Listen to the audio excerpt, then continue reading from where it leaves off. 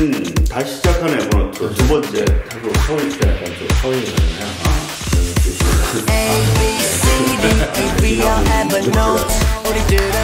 달라 좀 스마트하게. 아, 네. 다시 시작하네, 에버노트. 네, 벌써 2회입니다. 네, 두 번째. 네, 이번에 좀 빨리빨리 가네요. 네. 저희 한 편 나올 때보다 거의 한 달 넘게 걸렸는데. 아, 네. 많이 좋아졌고, 네. 또 다양한 업그레이드 네. 정보가 있기 때문에 그렇지 않을까 싶어요.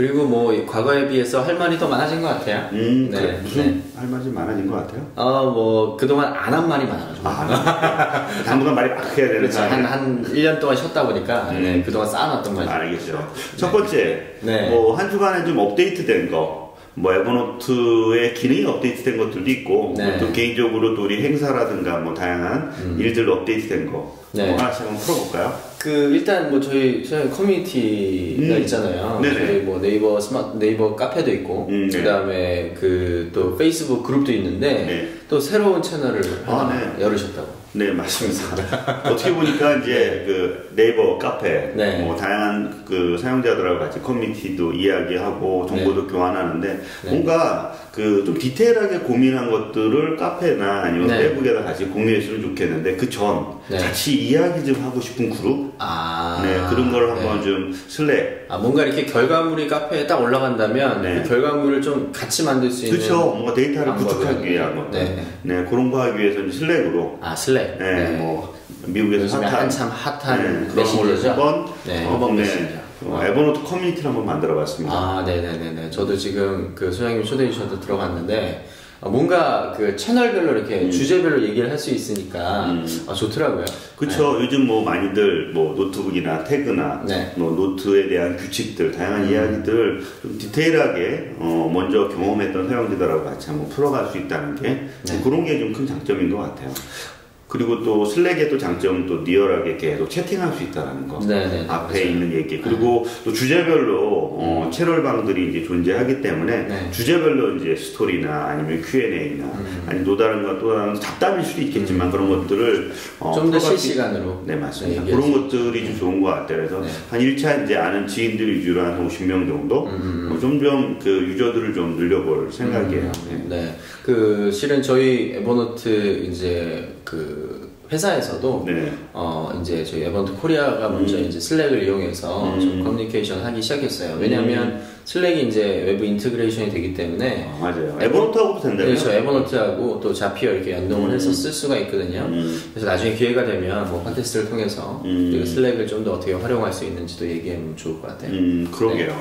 네, 그리고 이제 또 하나는 이제 저희가 네. 음. 그 에버노트 쪽에서는 어뭐 큰 변화라기보다는 작은 변화가 음. 두개 있었어요. 하나는 이제 안드로이드 쪽이 어 새롭게 이제 롤리팝이라는 버전이 맞아요. 나왔잖아요. 그래서 롤리팝 버전에 맞도록 음. 저희가 그 매트, 매, 뭐 material design 이렇게 음. 얘기하는데 그 material design으로 어, 새롭게 런칭을 했어요. 음. 뭐 가장 큰 차이점이라면 그 오른쪽에 이렇게 플러스 버튼을 누르면 이게 딱 떠서 이제 제가 음. 새 노트를 만들 건지 음, 뭐 네네, 체크박스 맞아요. 만들 건지 네. 하잖아요. 근데 거기 부분을 customizing 할 수 있어요. 음, 아, 아, 맞아요. 여러 개로. 네, 다섯 여러 개. 개인데 여러 개로 이제 그렇죠. 그 다섯 개를 다른 거로 이렇게 그렇죠. 제가 할잘수 쓰는. 거예요. 그래서 문서 카메라를 네. 많이 쓰시는 문서 음. 카메라로 이렇게 여러 가지 기능을 음. 이제 그 맞아요. customizing 해서 쓸수 음. 있도록 바꿨고요. 음. 뭐또 하나는 에버노트 마켓에 혹시 이제 음. 에버노트 마켓이 있는데 혹시 네. 아시는 분도 있고 모르시는 분도 계시겠지만 음. 에버노트와 관련된 한국에서 상품 구매할 수 있는 마켓이죠? 그렇죠. 한국에서도 이제 한국에서 구매를 하게 되면 이제 미국에서 해외 배송이 됩니다. 음. 그래서 약간의 관세가 뭐 붙는 경우도 있고 음. 뭐 배송비가 좀 붙는 경우도 있지만 어 그래도 이제 손쉽게 집에서 이제 음. 바로 구매하실 수 있기 때문에 어 요번에 그 파이 아, 파이퍼라 그래서 음. 그 이렇게 뭐라 그러죠? 연필 꽂이라든가 아니면은 이 스탠드 같은 것들을 그 과거에 있었는데요 몇 가지 제품들이 좀 더 추가됐고 음. 그 다음에 이제 제일 어, 관심이 있었던 거는 이제 이제 자스크립트라고 해서 음. 어, 이 발음 조심해. 네, 네, Jot Script라는 음. 이 네. 제품이 있습니다. 음. 그래서 이렇게 아이패드 바로 위에다가 이렇게 쓸수펜 있는 얼티메이트. 게- 그렇죠, Penultimate에다가 바로 쓸 수 있고 물론 Penultimate 말고라도 이제 연동해서 다른 앱들도 쓸 수 있어요. 음.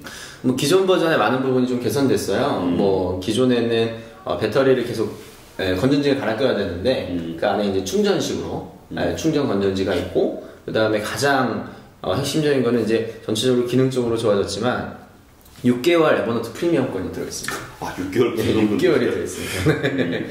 그래서 이제 펜, 그 자스크립트 어, 사용하시길 원하시는 분들은 프리미엄 6개월도 함께 얻어가는 그래서 뭐 합리적인 가격이지 아, 않을까. 알겠습니다. 네, 이런 생각합니다. 어, 얼마 전에 보니까 뭐 자스크립트 써보던데 어때요? 아, 네네. 저도 이제 써봤는데, 음. 확실히 전 버전보다는 이제 많이 좋아졌고요. 음. 근데 이제 이게 사람마다 좀 다른데요. 저 같은 경우에는 좀 더 거침없이 필기를 하고 싶은 마음은 있어요. 음. 근데 아무래도 아이패드다 보니까, 음.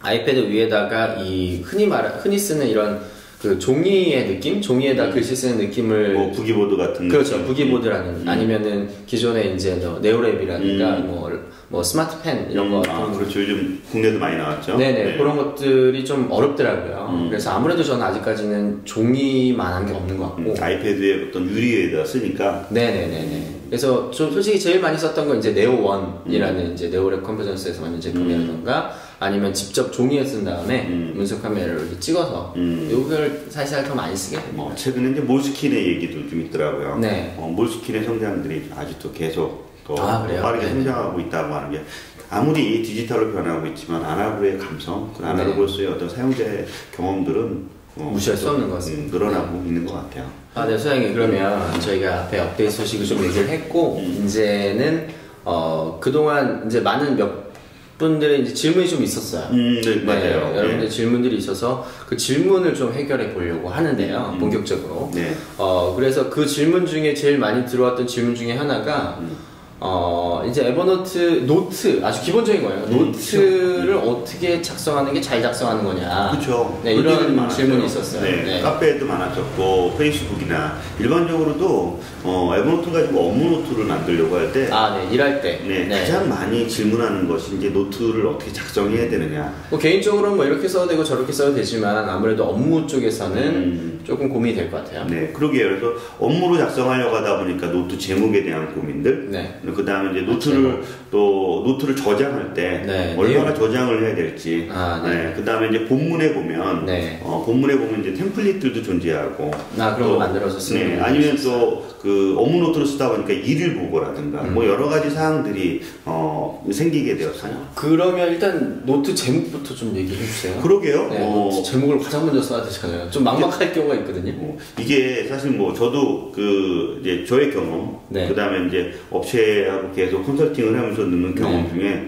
어, 여러 가지 좀 있는데 크게 한 두 가지를 구분하게 되더라고요. 아, 두 가지요. 네, 먼저 그냥 노트를 작성할 때 일반 노트와 어, 할일 노트가 이제 크게 있는 것 같아요. 아 그냥 뭐 일반 보는 업무, 일반 업무 노트. 보는 노트가 있고 네. 실질적으로 어떤 액션이 필요한 할일 할일 노트가 있는. 있다. 어, 그 중에 이제 먼저 업무 노트를 먼저 이야기하면 네. 업무 노트 중에도 크게 두 가지가 있는 것 같아요. 하나는 랜덤한 노트. 네. 그러니까 뭐 업무 노트로 작성을 하지만 어, 어떤 프로젝트나 아니면 어떤 또한 뭐 행사나 아니면 내가 진행하고 있는 일반적으로 동일하게 반복적으로 작성해야 되는 문서가 아닌 네. 그냥 일반적인 랜덤한 노트가 있는 것 같아요. 음, 뭐 그냥 스크랩한 노트라든가. 뭐 그런 것보다 이제 업무적으로 뭐 기록을 해야 되는 것들이 있는 것 같아요. 아, 네네네. 뭐 누구에 대한 미팅이라든가 아니면 그 누구를 처음 만났던 거라든가 아니면 아. 뭐 미팅은 회의록이나 뭐 미팅록이 따로 있겠지만 그거보다 좀 랜덤하게 어, 업무적으로 기록해야 되는 네, 노트들이 네. 있는 것 같아요. 네. 그런 노트가 있고 뭐 특정한 양식은 필요 없지만 계속 들어오는 정보들 그렇죠. 뭐 이런 거. 그런 건 노트 제목도 좀 불명확하고 네, 어, 그렇죠. 본문도 어, 불명확하다 보니까 이럴 때 어떤 작성하는 거라든가 음, 또 하나는 규칙적인 노트 좀 전에 얘기했던 것들이 뭐 회의록일 수도 있고요 네. 프로젝트가일 수도 있고 네. 어, 아니면 뭐 정기적으로 내가 이루어지는 기안서나 뭐 보고서나 네, 네. 그런 것들일 수 있는 뭐 거예요. 일 보고, 주간 보고 이런 그렇죠. 거. 예. 그러니까 두 가지 양분이 됐을 때 첫 번째 랜덤한 노트 같은 경우는 사실 요거는 어, 정해진 룰이 없다 보니까 이거를 찾거나 아니면 이걸 다시 그 볼 때. 보려고 하려고 할 때 그 볼의 어떤 틀만 좀 구성하면 좋지 않나 싶어요. 네, 그래서, 틀. 그래서 저희는 저 같은 경우는 그거를 검색에 먼저 초점을 많이 둬요. 네. 그래서 검색에서 뭐 첫 번째는 그 목적을 기반을 둬요. 네. 어, 이 노트가 어떤 목적에서 쓰여졌냐. 네. 첫 번째 하나. 그 두 번째 키워드는 어, 사람. 누구랑 사람. 일했냐? 어, 주로 업무니까 누구나 노트 미래- 제목에. 네 노트 네. 제목에 어, 사람이냐 그 사람에 대한 어떤 그 담당자 누군지에 대한 네. 부분. 세 번째는 위치를 얘기합니다. 위치? 내- 음, 아. 회사일 수도 있고 회사가 아닐 네. 수도 있잖아요. 네. 네, 그런 어떤 위치에 대한 바깥에서 내가 뭔가 그거 노트를 작성했거나 뭐 그랬던 세 가지 기준으로 음. 어, 목적, 사람, 어, 위치 세 가지 연점으로 랜덤한 노트에 대한 제목을 어, 포커스를 합니다. 목적, 사람, 위치. 네, 그리고 그 본문 안에는 어, 뭐 일반적인 어떤 뭐 그 내용들 위주로 하는데 최대한 함축돼서 음. 어, 저장하는 위치로 만들게 되고요. 두 번째는 이제 규칙적인 것 같은 경우는 이런 식으로 합니다. 규칙적인 거는 어, 프로젝트는 프로젝트 제목에 대한 부분들, 네. 그 회의록은 또 회의록에 대한 제목에 대한 것들. 그러니까 회의록은 회의록 다음에 이제 어떤 회의록에 있는 주제가 있는지 네. 회의록과 어떤 주제, 그러니까 규칙적인 이름을 작성을 합니다. 아, 네네. 네. 왜냐하면 이게 혼자 회의록을 작성하는 것이 아니라 네. 어, 그룹에 아, 팀원에 있는 사람들도 같이 회의록을 작성하다 보니까 네. 이 제목이 회의록인지 아닌지를 구분을 해야 되잖아요. 그렇기 때문에 맨 앞단에 회의록. 아, 그러니까 맨 앞단에는 이 특정한 노트 같은 경우에는 노트의 속성을 분명하게 제목에다가. 그렇죠. 회의록이라는 아, 네. 어떤 뭐 보고서다 그러면 보고서, 보고서. 어, 네. 프로젝트라 그러면 프로젝트, 프로젝트. 그 프로젝트 제목이 들어가겠죠. 네. 그리고 제목 다음에는 뭐 중간 제목이 들어가겠죠. 회의록도 있고 보고서도 있고 그 다음에 진짜 소제목들이 들어가겠죠. 음, 음. 뭐 그런 형태로 어, 랜덤한 게 아니고 규칙적이다면 그 주제에 대해서 명확하게 먼저 지정하고 그 다음에 제목을 음. 지정하는 형태로 구성을 합니다. 소장님 얘기를 들어보니까 이제 노트 작성에 있어서 어떻게 보면 제일 중요한 게 노트 제목이네요. 그렇죠. 업무 노트로 활용하려고 하면 네. 어, 점점 제목에 대한 중요성도 음. 느끼게 그 제목 하나를 통해서 어, 또 다른 저 말고도 공유했을 때 네. 어, 공유했을 때 그 사용자들이 쉽게 찾을 수 있도록 음. 네, 어느 정도 적당한 노트 규칙이 적당한. 룰이 있으면 네. 이제 일단은 소장님의 가장 그 집중하는 부분은 어, 검색이 잘 될 수 있고 검색과 분류죠. 네, 검색과 네. 근데 이런 그 아까 말한 규칙적인 노트, 노트, 프로젝트나 회의록이나 보고서나 그런 어떤 규칙적인 어, 일을 보거나 뭐 그런 네. 것들에 대한 것들이 규칙적으로 작성을 하다 보니까 네, 네. 어, 나중에 intitle이라는 키워드를 통해서 아, 얼마든지 제목만 검색하는 그렇죠. 검색 얼마든지 그 안에서. 어, 네. 공유한 거라도 아니면 아, 네. 같이 내가 문서를 작성한 거라도 따로 자동적으로 분류할 수 있게끔 만들 음. 수가 있다 보니까 어, 규칙적인 노트의 경우는 이제 그런 부분들을 함께 적용을 하게 되죠. 그럼 그 제목이 어느 정도 정의가 됐잖아요. 네. 그럼 본문 이제 본문은 또 이게 노트 용량이 많은데 맞아요. 네. 이게 업무 노트를 작성하다 보면 네. 기안서나 보고서나 여러 템플릿들이 있을 거 아니에요. 그렇죠. 그 네. 템플릿들은 문서를 따로따로 저장하기보단 네. 어, 하나의 노트로 많이 만들어놔요. 네네. 그래서 그 하나의 노트에 여러 템플릿들의 파일들을 존재하게 하죠. 아, 그래서, 네. 그래서 그 하나의 노트는 어, 떤 어떤 거에 대한 템플릿 노트다라고 하나의 노트 제목을 두고 모두에게 같이 공유하는 거죠. 음. 아, 공유 네네, 노트북으로. 네네. 네. 뭐 그렇게 형태로 많이 해요. 그 외에서 각각 문서를 작성할 때는 별개의 노트로 구성을 하게 되죠. 아 각각의 노트는 별개라는 건 어떤 뭐 예를 들어서 그 거기 템플릿 기안서 템플릿을 가져왔다면 그 템플릿을 가지고 어, 문서 작성할 때는 무슨 기안서라고 정해질 거 아니에요. 네, 그렇죠. 그 기안서에 뭐 무슨 무슨 기안서라고 정해지면 그거는 별개의 노트로 네. 작성해서 거기서 문서를 작성을 하게 되는 거죠. 아그 그러면 이 기안 노트가 있고 네. 이 노트에 대한 자세한 내용이 또 다른 노트가 있다는 말씀이세요? 제가 잘 이해를 못했어요. 어, 우리가 이제 기안서를 자료, 어, 기안서라는 것들 만들면 네. 기안서 템플릿이 존재할 겁니다. 그게 네. 뭐 워드일 수도 있고, 뭐 엑셀일 수도 있고, 그런 아, 템플릿들, 그 노트들이 실제로 파일 형식의 파일 형태가 아. 파일 예, 형식. 그러니까 기업에서는 네. 그, 그런 템플릿 파일들이 다 존재하거든요. 아, 네. 근데 그 자, 그거랑 에버노트랑 함께 쓰려고 하다 보니까 네. 에버노트 위에서 에버노트 템플릿, 기안서 템플릿을 만들면 좋겠지만 네, 그게 사실상 좋긴 한데 그렇게 해서 인쇄를 좀 해야 되는 예, 경우가 적용을 해야 되는 부분들이 좀 떨어지다 보니까 네. 그냥 첨부 파일로 저장해서 아. 사용을 많이 하게 되거든요. 아, 네. 그렇기 때문에 기안서 템플릿 노트라는 게 네네. 하나의 노트에는 여러 개의 기안서 파일들이 아, 뭐, 뭐 템플릿 파일들이 존재한다는 음. 아. 뜻입니다.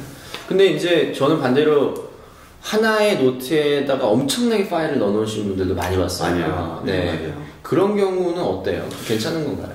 그 가끔 이제 그 뭐 논문 작업하시는 분들이라든가 아니면 어, 프로젝트를 진행하시는 분들 대표적으로 많이들 하시는데요. 네. 그걸 그냥 저장의 형태로 해서 그걸 다시 찾고자 할 때, 네. 네, 그럴 때는 쉽게 찾을 수 있으니까 네. 좋은데 그 안에 있는 파일을 다시 찾고자 할 때, 그러니까 노트 안에 너무 많아서 거기를 또 일일이 그렇죠. 검색에 대한 아. 부분들, 그러니까 분류해놓고 사용을 하려고 하면 저장소의 개념으로는 되게 어, 편리하게 이용할 수 있는데 전체 모든 노트에서 그 안에 있는 파일을 찾겠다. 음, 그거는 좀 약간 음. 안 좋더라고요. 그래서 네. 그 저장의 형태고 다시 꺼내서 쉽게 볼 수 있는 형태라면 그렇게 하는 것이 좋고 음, 네. 그렇지 않으면 좀 쉽지가 않더라고요. 어 이제 저도 이제 에버노트에서 일하고 있기 때문에 그 약간 이유를 알 것 같아요. 그 이유가 왜 그러냐면 어, 에버노트에 이제 노트들이 저장이 되면 썸네일 이미지라든가 아니면 그 안에 있는 키워드들을 어, 좀 이렇게 미리 메타데이터 형식으로 저장을 하거든요. 네. 그래서 이 메타데이터가 실제로 검색하는 데 사용이 되는데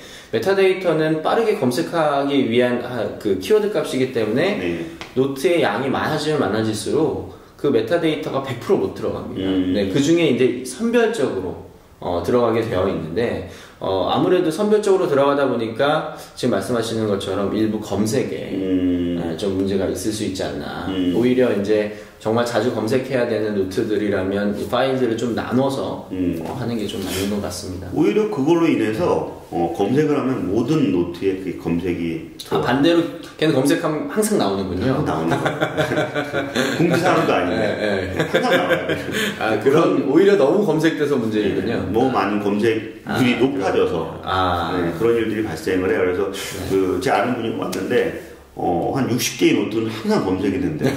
60개 노트에 PDF가 너무 많이 저장이 아. 되는 거예요. 그런 것들이 검색하면 60개일 때 기본 나오고 그다음 나오는 거죠. 검색이 높아져요. 네. 그러다 보니까 검색이 안 된다는 거죠. 아, 너무 많이 나오니까. 음, 아. 그런 것들도 네. 문제가 좀 있더라고요. 음, 그렇군요. 뭐, 뭐 할일 노트 부분도 비슷한데 뭐 그거는 이제 다음에 할일 노트 아, 때 다음에 아, 아쉽네요. 너무 많아서 아, 할일 노트. 그러니까 지금 좀 정리하면 기존에 어, 노트를 작성할 때 네. 제일 먼저 중요한 건 노트 제목. 그쵸 네, 노트 제목이 기업의 업무 노트를 활용하려고 하면 노트 네. 제목이 가장 네, 중요하고.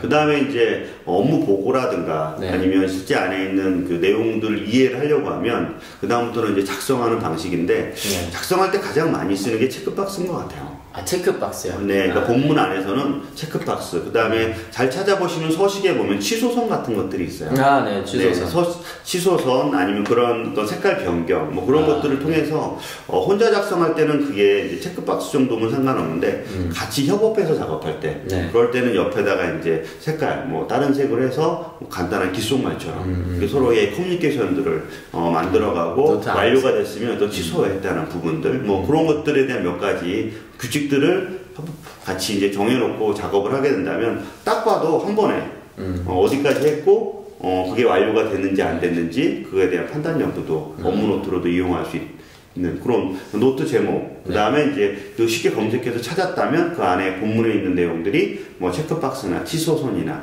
몇 가지 그런 것들을 통해서 업무 환경들에 대한 부분들을 이해할 수 있는 뭐 그 정도까지가 아마 가장 많이들 네. 어, 노트를 작성하는 이야기 아닌가 싶어요. 음, 네, 알겠습니다. 끊으려고 말을. 끊었고요. 잠깐만.